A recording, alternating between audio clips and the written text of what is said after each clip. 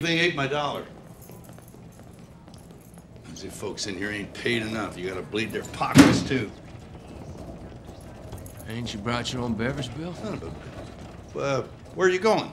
What's it to you? Your mother told me you were dying. What the fuck? You sound disappointed. Well, it took off work to be here. You, you seem all right. Wait up, Stu.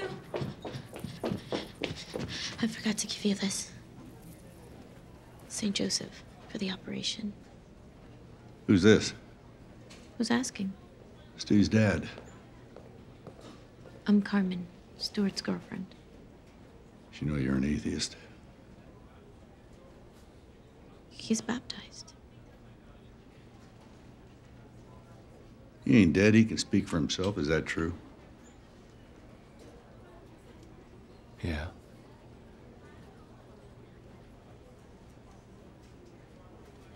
You know St. Stephen? Of course. Patron saint of coffin makers. There's pictures of him with a big pile of rocks on his head.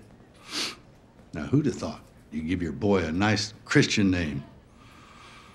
In a world full of fruits and nuts, you'd sentence him to live right on up to it. or down, as it were, into the ground. That ain't how names work. Let me drive you home, Mr. Long. Well, you got yourself a warrior. Well, God will put me right where He wants me to be. What's it to you if I'm in hell or Missoula? Silo? Can we go?